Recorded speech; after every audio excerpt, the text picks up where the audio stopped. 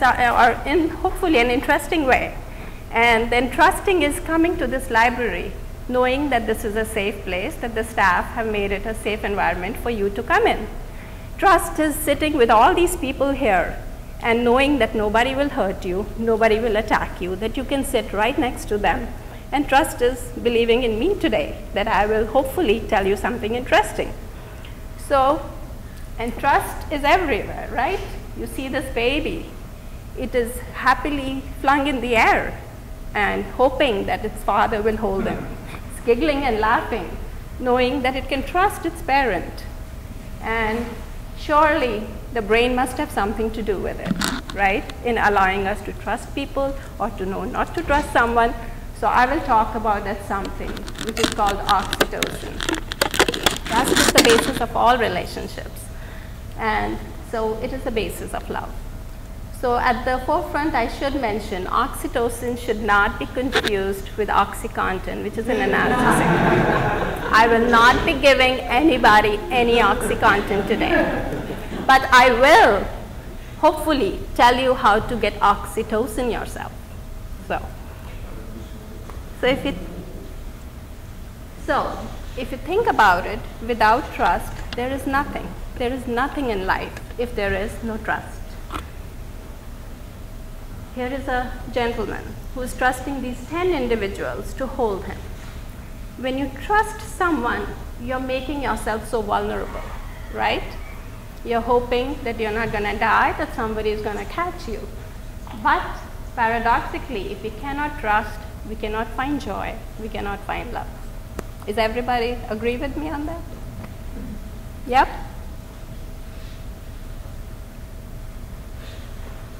So, trust is important. It helps us develop attachments.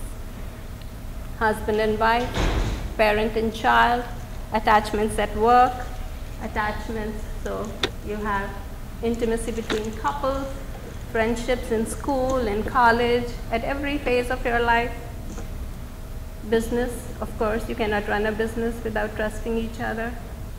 And here is a cartoon, I hope you can uh, see it. Here is a business, an internet business. A lot of you might have encountered this, that you didn't really want to give your credit card info to an internet business because you don't feel, you don't trust it, right? And so this business has come up with this idea that why not put a webcam and a grandma sitting in front of it and then she says, oh, can I take your order please? So now that you are looking into the eyes of a grandma, you feel, oh, maybe I can trust and give my credit card even though it's on the computer, right? Children want to be trusted. Mom and dad, why can't you leave me home alone? Why can't I go out with my friends, right? Everybody at every age of life, every span wants to be trusted and wants to trust. So it's very important. Even countries, they did this study, an economist at the World Bank by the name of Stephen Knack. He did this study where he just asked people in different countries, how much can you trust someone? Do you trust people? And we found that that trust level varied according to the countries. In Norway, about 65% of people said that they could trust someone. In a place like Brazil, less than 5%. So what happens to these countries when there is so such different levels of trust? You find that Brazil has a very poor economy. It's number 60. Norway is number 2. USA is in the middle.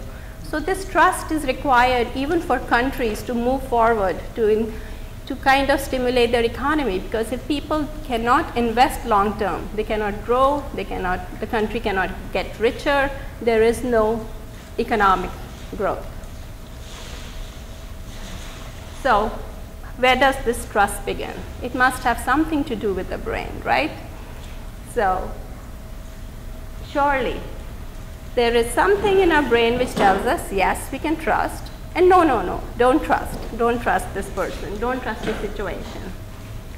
And as you can all imagine that when we have to study brain mechanisms, it has to all start from animal research because that's the place where we can do lots of experiments before we can go on to humans and to human conditions. So similar to many other aspects of science, this science called social neuroscience, you could call it, also started with observing the behavior of animals, especially voles. Voles are very interesting. You know, there is one species of voles, the prairie vole, which is extremely monogamous. In mammals, only about 5% of mammals are monogamous. Many of us are. And so, or at least serially monogamous.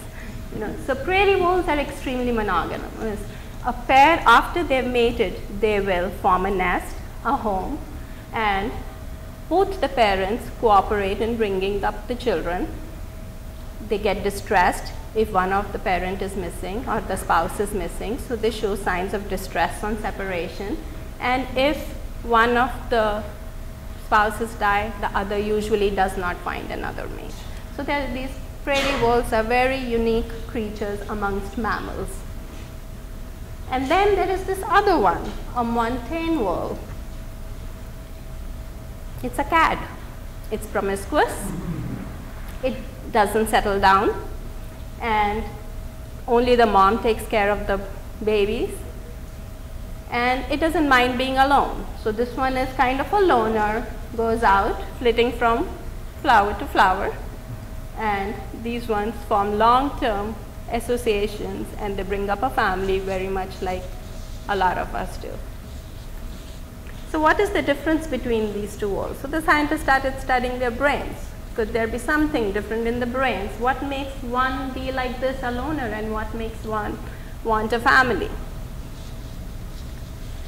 So, and they found that the difference in the brain lay in this chemical, which is a small peptide made up of nine amino acids for those of you who know, who like to know such stuff.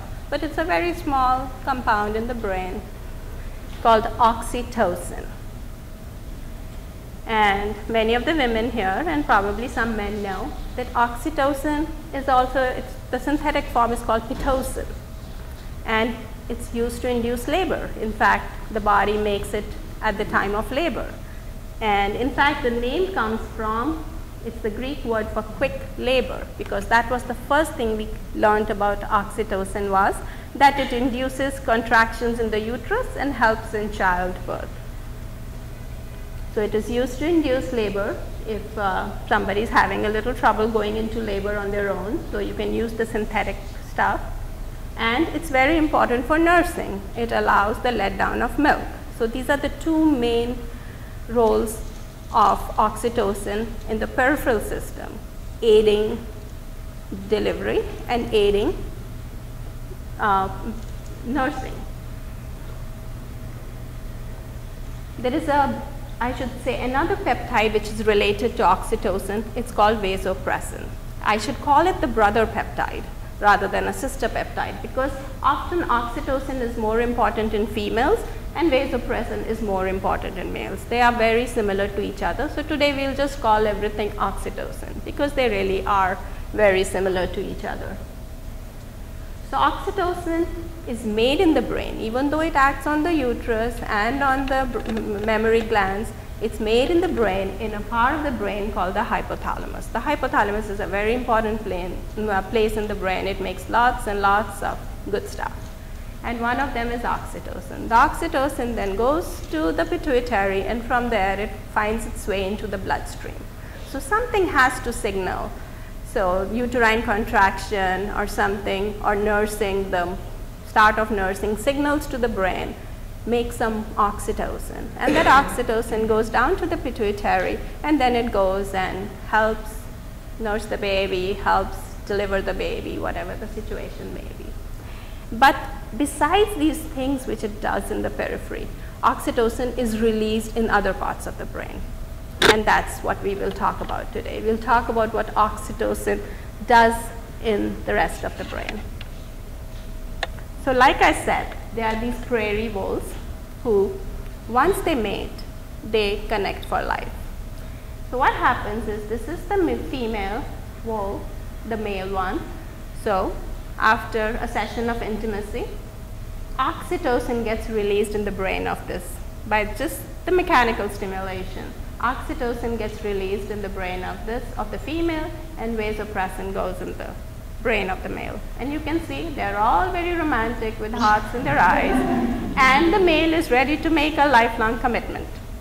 He has the ring and he is like, okay. And, but what if, so what if you don't let that chemical act in the brain? This vasopressin which was acting and giving all those nice, nice feelings. So let's put a drug which can prevent it from acting. It's called an antagonist.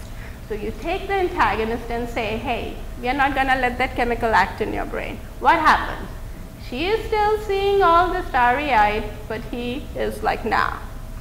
He wants nothing to do with her because we blocked the effect of that one chemical that was released in the brain. What happens to the female? If you block that chemical in her, he is still giving her the ring and she is showing him the finger. She is like, no. So it's studies like this which to tell us that oxytocin and vasopressin in the males are, is very important for relationships. Yes? There's no oxytocin released in the male at all? No, there is. It is released and they, in, it is released, but it may be released in different brain structures.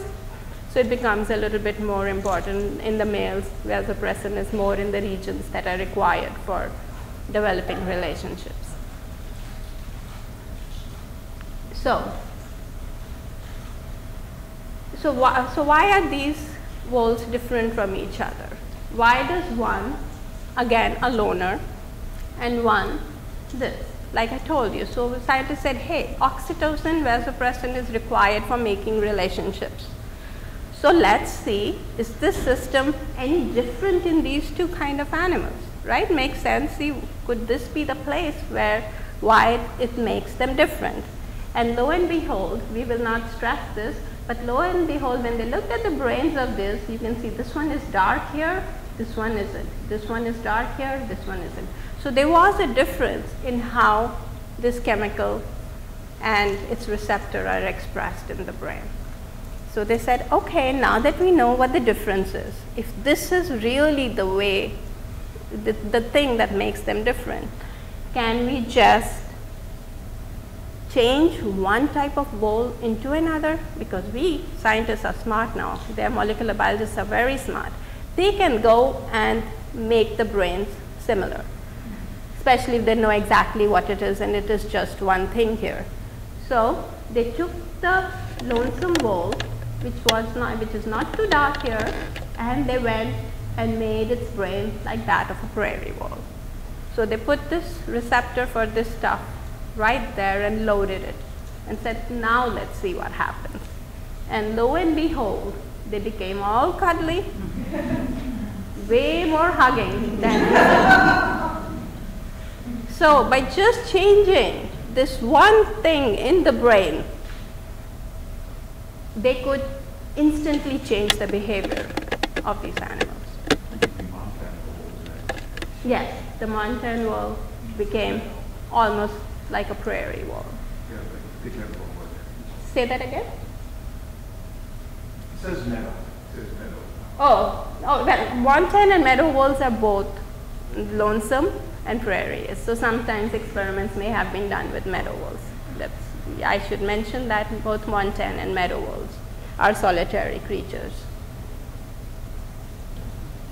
So just a little tweaking in the brain and you it, it became a soulmate. So going back to this, there's a scientist, an economist actually in California by the name of Paul Zak. He's an economist and he was very intrigued by this data how trust levels are different in different countries and how the economies are different. And he started getting very interested in what determines human trust, what makes you trust one person and not trust another person.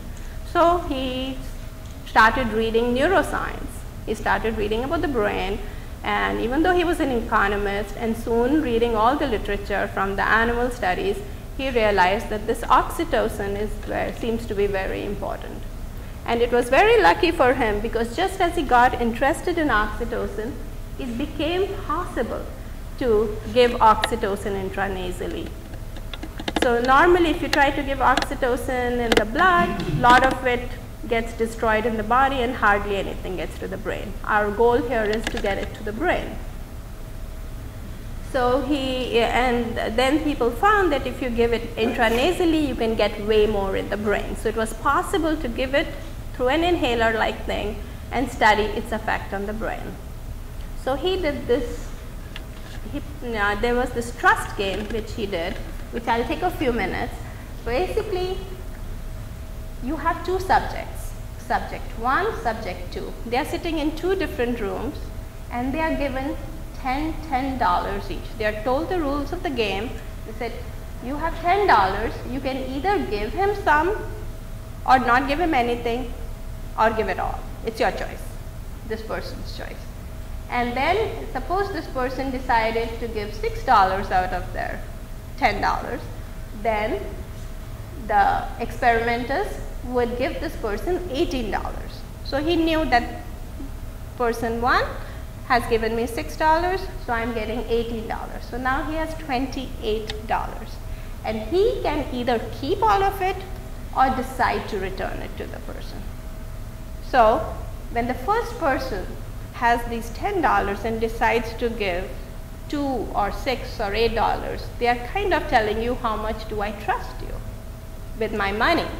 And they are hoping that that person will give that back. If they don't trust at all, they'll say, I'm not giving anything, I'm keeping my $10, right? If they trust a lot, they'll say, Whew, I'll give you all my $10 or maybe I'll give you 8 or 6. So in a way, that signal is saying to the other person, whom they can't see is in the other room, I trust you and hope you trust me too, you know. So, and then this person decides, now he has $28, he could give, return $10 to that person and he would still have more money than he had, plus the other person gets more money, right? So depending on this person, they, uh, how they feel, they will return either nothing or the other person they can say, hey, you made some money here and I made some money here, right? So they share the profit in some way or the other. So the experimenters, what they did is they gave the subjects oxytocin intranasally to see. And they found that when they gave oxytocin, this person always gave more money. Most of the people, not each and every person, but after inhaling oxytocin, instead of giving $6, that person would maybe give 7 or $8 on an average. And in this group, normally about 25% of people will give half the money back or about 50% started giving a lot of money back. Because when this person trusts, when there is more trust, so they get more money, there is more trust, the brain releases more oxytocin. So if I feel that you trust me a lot, then my brain gets very happy and makes more oxytocin. And if he doesn't trust me, I, my brain will make much less oxytocin. So if this, the more money this person gives, the more oxytocin this person gets. Yes. Is there a gender difference or is just just This is this, there is no gender difference. So they found that by just giving oxytocin, you could enhance the amount of trust. So if you own a car dealership, you would get the salesman and spray to different customers? You got it. You got the idea. So what is it to trust? When you trust somebody, you have to let go of fear. In intimacy, you have to let go of fear. In business, you have to let go of fear. So the first thing is you have to let go of fear. So does oxytocin do that? You say if oxytocin is the trust hormone, if oxytocin is the cuddly hormone, if oxytocin is the love hormone, does it let you get let go of fear? So that's one thing. So whenever you know in the brain there is circuitry of love we are talking about, there is circuitry of fear. So here whenever this is a human brain so whenever somebody sees frightful faces, frightful scenes, the fear circuitry gets activated. You see that in red. That's the amygdala, a part of the brain which really responds to fear. So normally, a fearful situation, you respond with activation of the amygdala. So what happens if you give oxytocin to people and then put them in front of frightful faces or frightful scenes? Does it decrease fear?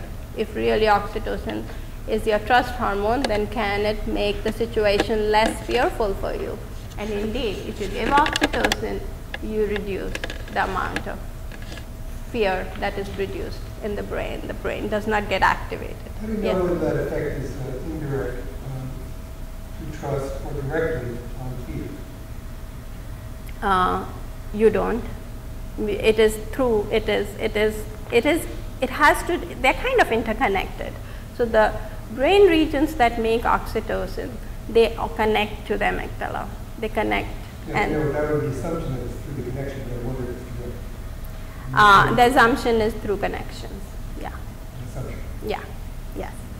Now, frightful faces are, are distinguished from frightful scenes. Frightful scenes give a larger reaction than frightful faces do. Yeah, because I think like when you know there is a hurricane coming, you know your life is in danger. Whereas a frightful And that's faces, you just chart set up, the right Yeah. hand side, the scenes on the left. It's- right. Yeah. So, and this is just one example in this per, this person who responded strongly to scenes rather than faces. Yes, How long do the effects last?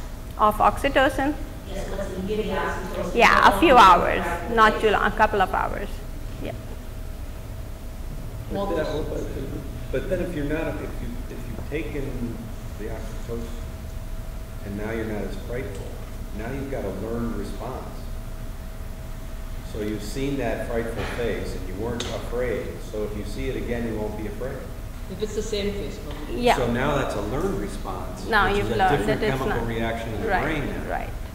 Okay, that's a behavioral Right. change Right. that's just right. occurred. But basically, all we are trying to say is that oxytocin will reduce your fear level enough for you to be able to trust somebody or to trust a situation and, you know, um, carry on a transaction, whatever it is, you know.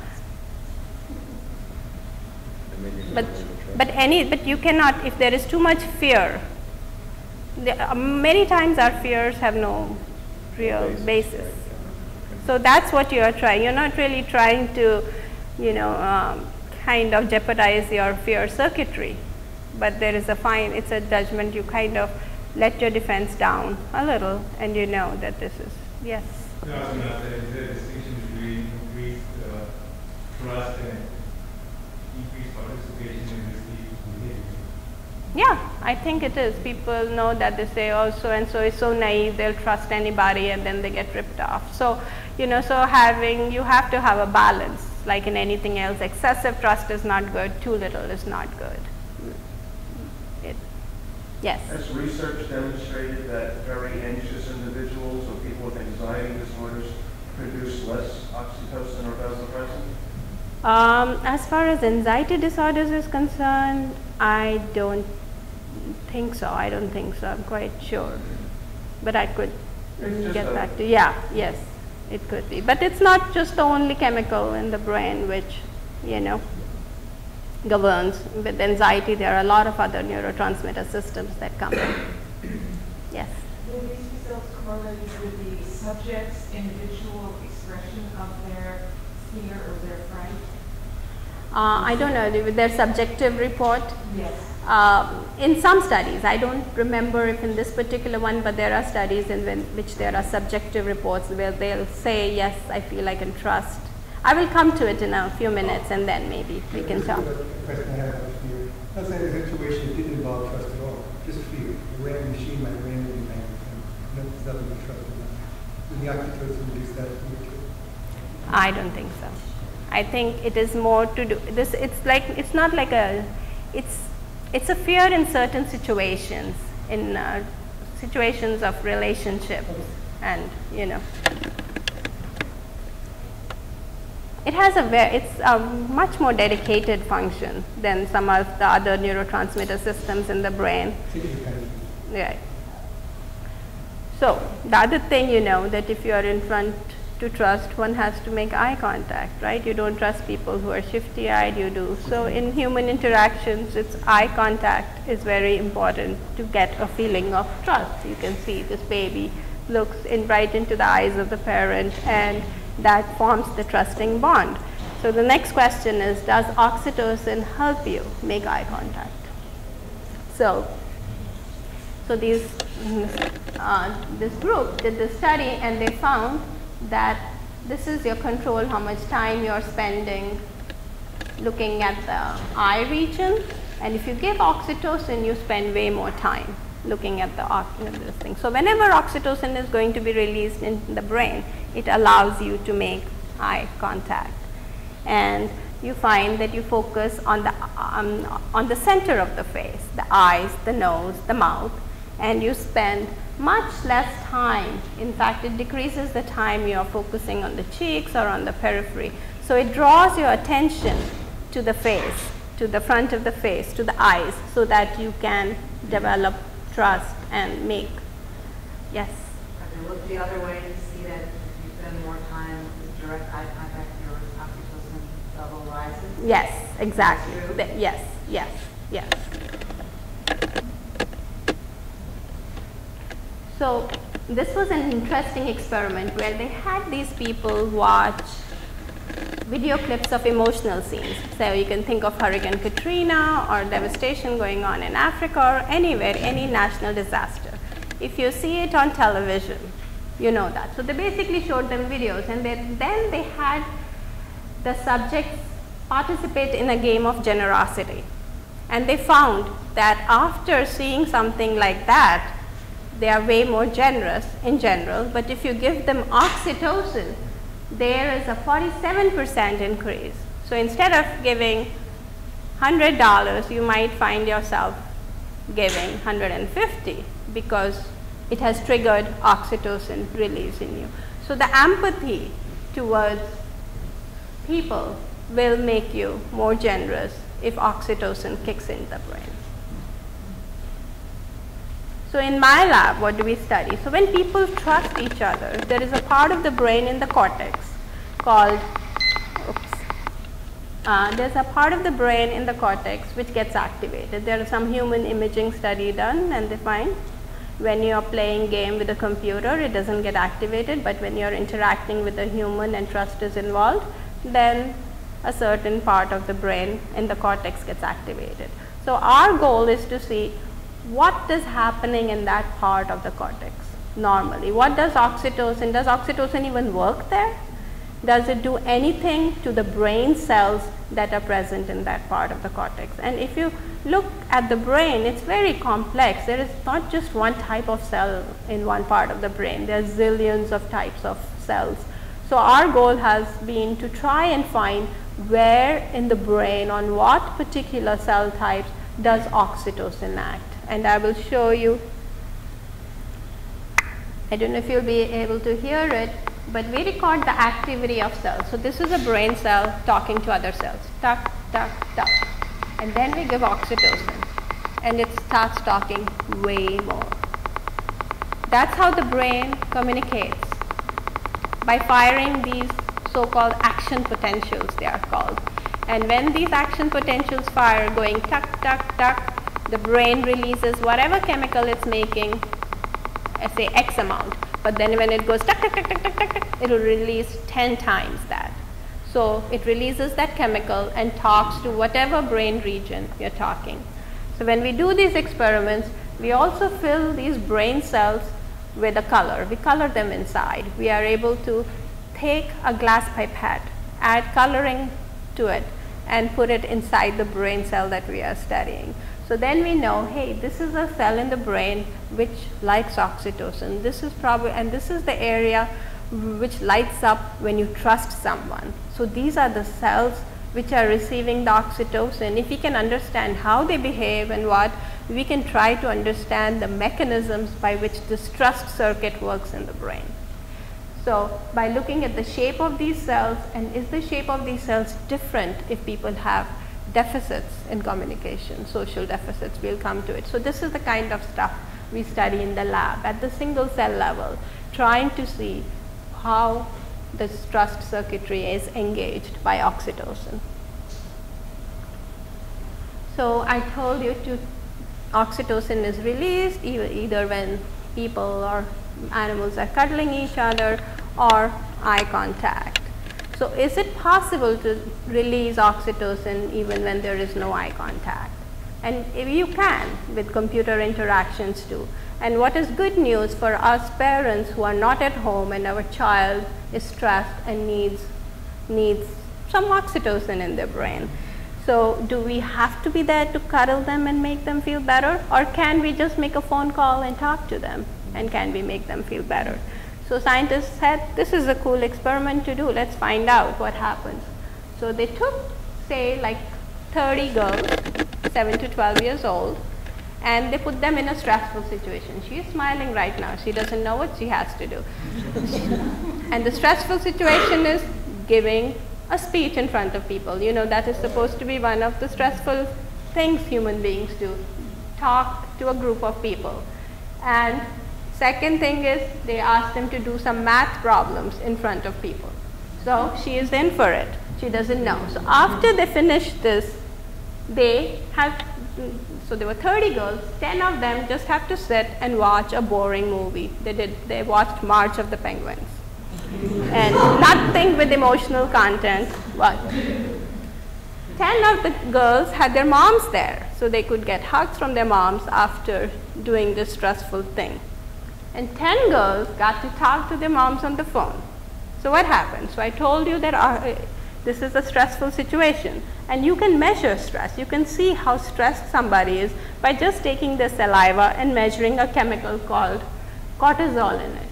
So here these are, so the kids come in all three groups and they are stressed because they don't know what to expect. They've been just told to show up there.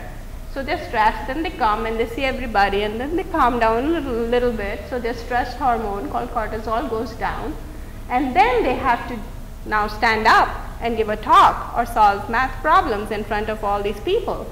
So their stress level goes up and you can see the people who knew that I don't have a mom either waiting here or a mom whom I can talk to on the phone get very stressed. Their cot levels, they're called cot levels, go up and they stay up for about an hour. The group which can knows that I can get to talk to mom after I finish this shows a response, but it comes back a little faster down. So they stay, stay stressed a little less longer. And then the ones who can get a hug from mom right there after the talk quickly recover from that stress. So what happens in these stressful situations to oxytocin? you find that the girls who are watching the boring film, their oxytocin just stays flat. Nothing happens. Their brain doesn't make any oxytocin. The girls who got to hug their mom or even talk to their mom on the phone show this increase in oxytocin, which makes them feel all is well. They feel loved, they feel trusted, and everything. You So- measure the amount of uh, oxytocin in someone after they got their hug or their phone call? Uh, well, they take samples. Oh, of- is, is that the cortisol again? no, this is oxytocin, And and that's cortisol. Right, so how do you measure that? Well, they take the plasma. They're experiments, yes. So, and then so you so even with that phone call from your mom, so everybody call your mom or your child, you can release oxytocin in the brain. So why do we do all this research? Is it just to manipulate people? Is it just as you said, your car dealer, you want a whiff of oxytocin? No, that would be a good idea, but that's not why we do this research. One is because we neuroscientists are fascinated with the brain. We want to know how things happen, how things click, how does the brain make us who we are. And secondly is we would like to solve treat brain disorders. Can anybody tell me? You already saw it. I hit that key too fast. I was going to ask you do you know of disorders or do you know of people who have social communication defects, who cannot be involved in a reciprocal relationship or a reciprocal? You- been traumatized or victimized? could be traumatized, yeah, yes. Auti- autism, schizophrenia, there could be withdrawal. So, then you would say, could there be anything wrong with the oxytocin system in autism? Autism is a disorder, complex, with specific brain abnormalities, many of them we don't know. It could be different abnormalities in different people. You know that even the social communication deficit could be just this much messed up in one person and way more messed up in another. So the degree of disorder may vary from person to person. So there is an impairment in how they interact with people and they have these repetitive stereotype behaviors. These are the two main features of autism. So obviously people got very excited when you could give oxytocin intranasally and say, oh, autistics have social communication defects. Now you can give oxytocin in the nose. Can we make them better? In this aspect of deficit, can we make them better? So the question is, is there, but do we even know if oxytocin is messed up in autism? Yes, we do. There are low amounts of oxytocin in the plasma. If you measure people, many of them do have less oxytocin. They have been found that there are mutations in their receptors. So even if they, some of them make oxytocin, they cannot respond to it properly because the receptor. So those people are not going to benefit. If the receptor is messed up, then even if you give oxytocin, they're not going to be able to benefit because they just, it's like a lock and a key you, uh, key and a keyhole. If the keyhole is all crooked and warped, the key is not going to go in, even if you give it. So depending, it has to be, the treatment has to be tailored to the deficit. In one person, it may be that they don't have enough oxytocin, so you can give more oxytocin. In another, they don't know how to see that oxytocin, then giving oxytocin is not going to help. So, but there is a good reason to test whether oxytocin will help people in autism. So they did these studies in adults because you cannot do these studies in children even though they will benefit. There are issues of recruiting children and so they did it in high functioning autistics and they gave them intranasal oxytocin and they found yes it improves eye contact. Oxytocin doesn't stay too long by this route of administration but they definitely are able to make more eye contact. They are able to assess the emotion of a sentence. So they did these studies where they gave them sentences. The, the boy went to the store. Say it in a happy way. The boy went to the store. In an angry way, the boy went to the store or something. And they found that previously they were not able to gauge the emotion with which somebody said the boy went to the store. But after giving oxytocin, they could say, yeah, you said it in a happy way. No, you said it in an angry way. You said it in a very agitated way or in a sad way. So, so they were able to actually extract the emotional content of your sentence, which normally they're not able to. So they are able to use that social information and they felt that in some computer games that they did after giving intranasally oxytocin, they found that they would make eye contact with the people on the computer. They could tell is this a happy face, a sad face or not things that they were not capable of doing before. So, so far three or four studies have been done in humans and they are very promising. But our biggest hurdle with this is that we still do not have a synthetic oxytocin that can be given easily, orally, which will not get destroyed in the body and last long enough in the brain. We can give it through the nose, but then it still very little gets into the brain. You have to give quite a bit, and then it gets doesn't last too long. This is like a form of trust. This is a perceptual kind of thing. Right. It's it's interaction, social interaction, social communication. Social communication, perception. We can argue about it after. How's that?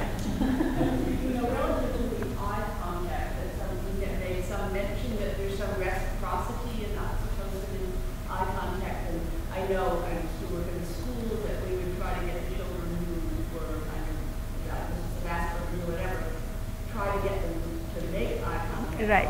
Some of them they get better at it. Yeah, that is the valuable. They say the floor therapy is like get down on your knees at the level of the child, look into their eyes, and, and so that whatever system they have, if they have oxytocin, you try to recruit it more and more. And interestingly,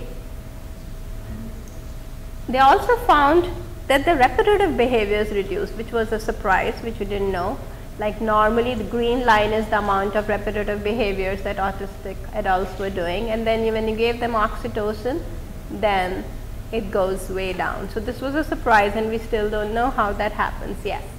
Can you get too much oxytocin? Say that again? Can they overdose on oxytocin? Um, okay, this is where our kind of studies come in, what we do in the lab. We try to see how much oxytocin, how it will do. So if we give a little amount, the cells will fire, tuck, tuck, tuck, tuck. Give a little more, they'll go tuck, tuck, tuck, tuck, tuck, tuck.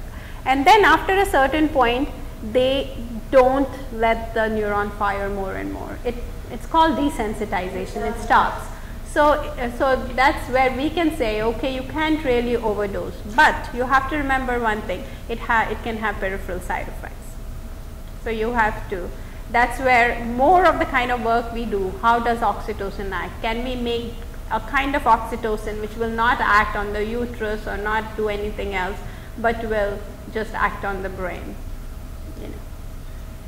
Anybody who who studies on normal levels of oxytocin and how it's like, you know, abnormally high, abnormally low. levels? Yes, so there, you know, women who've been abused and all, they will, they usually have low levels of oxytocin and they think that could be, contribute to their not being able to enter relationships easily or to make commitments.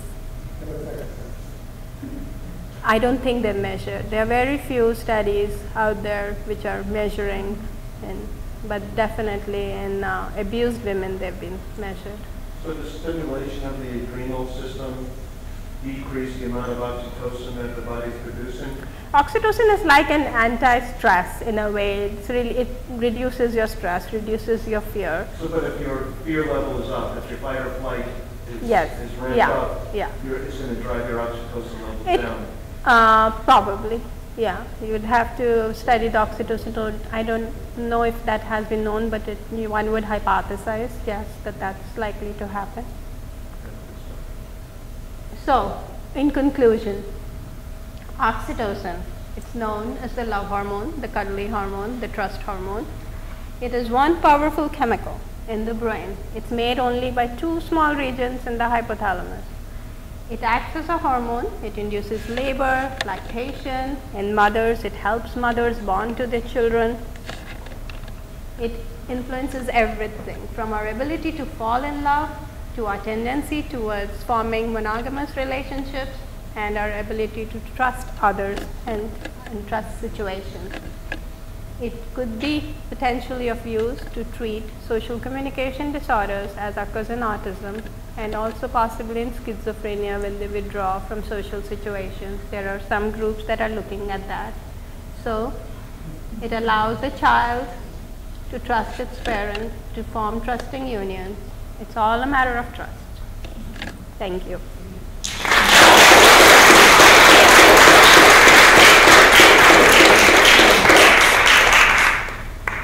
Uh, anybody who's uh, sort of breathing recognizes the level of trust in our society seems to be decreasing rapidly. Politics. Then the economy is going down. uh, Yeah, but, you know, you talk about the things that stimulate oxy, oxy, Oxytocin. oxytocin production. You know, eye contact, facial expressions, touch, sound of a voice, probably even smells. Right. Very powerful. Yes, yes, especially in animals and When you talk someone over the internet, you get none of that. Well, maybe they'll put it in emoticons, but you know, you basically get none of that. And I have found, I, I make a point that to people You're right. right, And the conversations on the internet get very heated. There's very little trust. right. So, for example, I was arguing with Yeah. a Palestinian about the situation, well, we're both claiming that we're on the same side. And finally, I just called them up to talk. I still disagree, but at least we understand. Right, right, you're, And information without context, yes, personal context. yes, Is a major factor in causing this decrease in trust. and it takes much, much longer to tr- trust like, you know, you start buying at Amazon.com now, we are very comfortable. It takes way longer to develop trust. And I think that's why world leaders always meet, right? You could meet whenever any major issues, world problems have to be solved. Our president or the other presidents will travel there, sit in a room and talk. It is to build trust. Yes. Well, it's interesting because this is not the question I want to ask, but it's interesting because a lot of people are more comfortable now texting than speaking on the phone. Me too. But, uh, and, and people have whole relationships, especially teenagers, that are through their texts and not um, in person and don't like this sort of deep because they don't, there's, there's less demand on it. But my question is really, have they tried this nasal spray with smokers because of repetitive behavior, or have they tried it with obsessive compulsive disorder? No. Um, you know, oxytocin, there is some work out there that it may, no, it might reduce drug addiction, nicotine addiction. So, but it's just starting that field. So, but that is one that, you know, people are happy in love, there's yeah, really more, you're addicted to love. You don't need an addiction to any other drug. But, uh, so, and what was the second? I lost my Oh, I said smoking. Yeah, so, uh, but nobody has tried. No, it, this is, yeah, nobody has, yes. Is the monogamy an enhancement with humans as well as animals? Um, Has that well. I, like I said, there is the study that if uh, women are abused in their childhood and they have low levels of oxytocin, they are not likely to make a commitment easily. But where I was thinking is if, if um, somebody had very high levels of oxytocin, I could envision a scenario where that would make them more promiscuous. You make more eye contact, you trust people more, you feel better, and then it can lead to new relationships. Yep. Uh, no, it doesn't. It it doesn't work that way. Sorry. Yes. Sorry. Are there nutritional aspects to that? There is, uh, you know, in fact, these economists have done some studies pointing towards nutrition, but I don't think, uh, you know, they think like maybe that is why oxytocin levels are different across the world in different countries, that it may have to do also with the nutritional. But I don't think there is anything convincing out there to feel, yes, that So did you say that it- oxytocin can or cannot be synthesized in the lab? it can be synthesized, but it has to be so. But the thing is, it breaks down. If you give it in the bloodstream, your liver, everything, there is enough things in there, so that very little gets to the brain. So for it to function in the brain, you need to make a compound which can, uh, which will get to the brain. And so is that what you work with in your lab? Uh, no, I don't work with synthesizing. We work with how oxytocin acts in the brain. How? Yes. Oxytocin levels basically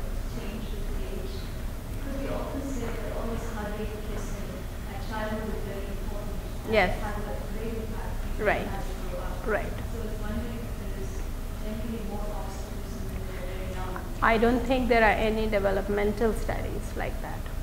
But you know, but there are like autistic children have less than controls normally, but there are no developmental. But I would say so that if you don't get enough in childhood, then you your system you just don't. Maybe you don't even have. I don't know if there are studies out there, but somebody would look at are there even enough oxytocin making neurons in the brain? Maybe it's like a use and disuse, or the receptor may be down. That you know. You, you, you went into a little bit of detail about autism, um, but I'm guessing from what you're saying that you probably haven't investigated much other possible psychiatric, Well, in- personality. No, in- So so far the focus has been on autism and a little bit on schizophrenia. You say, wait, wait, On schizophrenia. a little bit. Are there measure of oxytocin which you that are in homes that are not clean enough? I don't think so. You know, these measurement studies have just, uh, mm, the- the measurement studies have just started and um, it's not in so many situations. I have one question about the money game that you talked about at the beginning. So uh, they gave the oxytocin to both sides in that game, right? Uh, I know, I, I think they gave it to subject one, Subject one.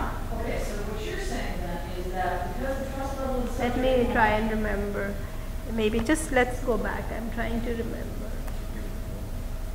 You said that the oxytocin level in subject two went up when subject two was trusted Oxytocin, subject one. rise booster. After inhaling, subject one sent. Yeah, yeah, yeah. Sent more. And then because they, they sent more money, the other person felt way more trusted. So they, some of them even gave away all the money. So trust generates trust. Yeah, yeah. So you have to say, I trust you. And then Personal experience is in fact. Do you, do you think the chart of uh, the countries where uh, Norway was number two, if you, if you had a similar chart, instead of it being trust of quality of life or general happiness, it would have Yeah. been the same? Um, but what is quality of life? It comes from economy, right? Hmm, I don't know. Like when there is jobs, when there's jobs and there's growth. These were economist I'm studies. just, I'm just, want- my, Yeah. my question, I'm gonna leave Right. Does, does. Are you any happier? Are you Uh, more no, Does happiness engender more oxytocin or vice versa? Yeah. Well, which comes first?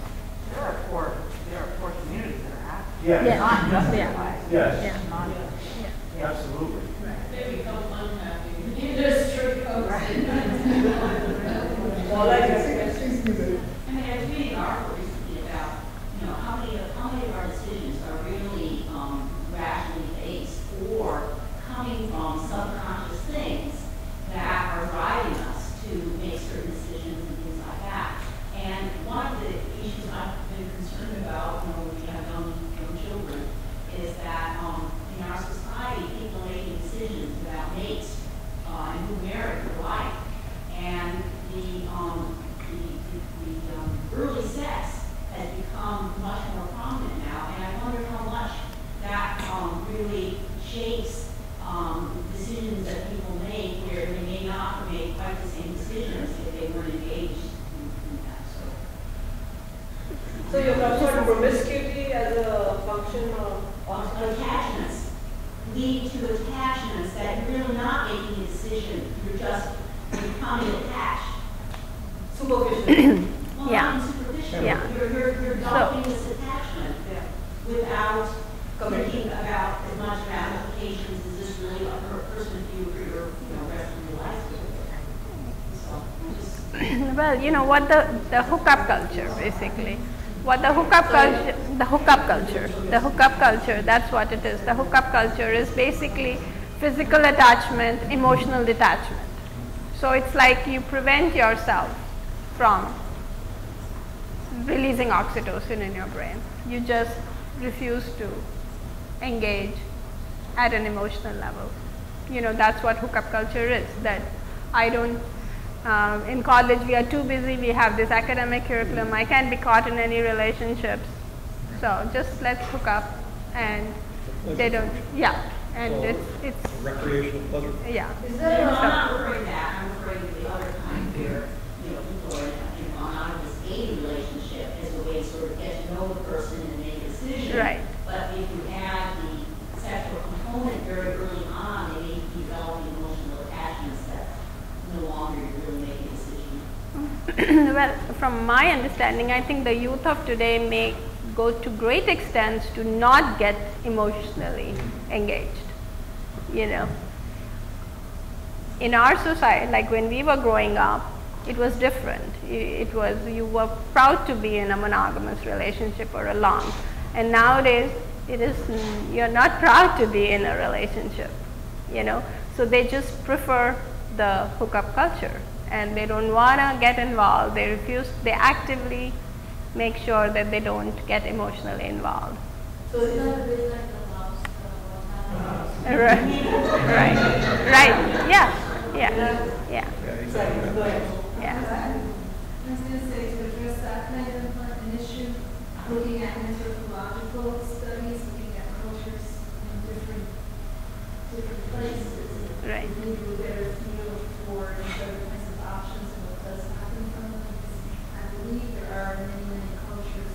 currently in the past where what we see going on now has gone on very young teenagers, you know, very young years. You're right. So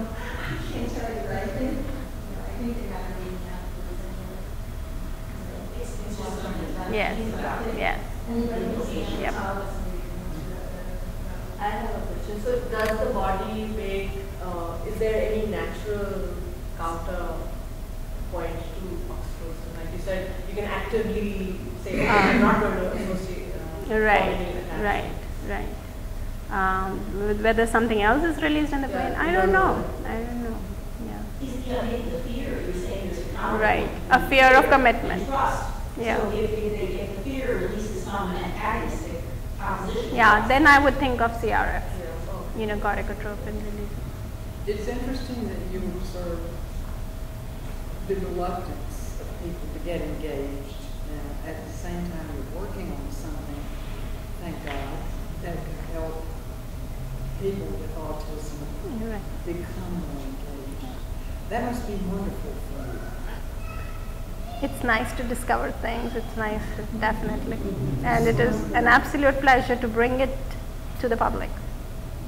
Why do you suppose they did the experiment with the people remote from one another as opposed to having them in the same room? like that's one um, so if you if if they've done this they've done it that you are sitting you if the person plays an investment game with a computer then nothing happens. No oxytocin goes up. But if they know there is a human being at the other end then it goes up. And they probably have done some um, there there are other studies they have done human you know trusting each other. But this will also eliminate all your variables. but this is, yeah, yeah, it eliminates, exactly, it eliminates. It's just a pure trust signal. You know, it doesn't have to do with how you look or how you, so, so it's a more controlled, yeah. Yes. Um, it'd be interesting to see studies of children, of what's happening between babies who are nursed by their mothers. But I know actively nursed, not just where mothers are expressing the milk and then go to work and the baby gets fed at daycare. Right. Because that one, that interaction between the mother and the baby, uh, for instance, there's a, when ducks are born, you know, they go at first, will be the follow. Yeah. And with the baby, it might be that there's certain receptors that, it's not just a matter of mutations, there's also a matter of activation occurring based on the environment. Right. What the environment is providing. So if you have a mother that's nursing her baby, and she is therefore feeling the oxytocin, feeling that middle let down by the leg, the nails, and here, Right. it's really good feeling. And that oxytocin spurts out, and Right. you actually physically feel, feel the Right. blood. It's like, Yeah. you know, Yeah. like getting a dose of something I never had, Yeah. sure. But anyway, um, so that bonding between the mother and the child, the child may be developing receptors at that point to, to have more of these receptors, to have that, that rock or the heat. Yes. But fortunately, for people who can't nurse, it's, there's a lot more. It's just holding the baby, cuddling. I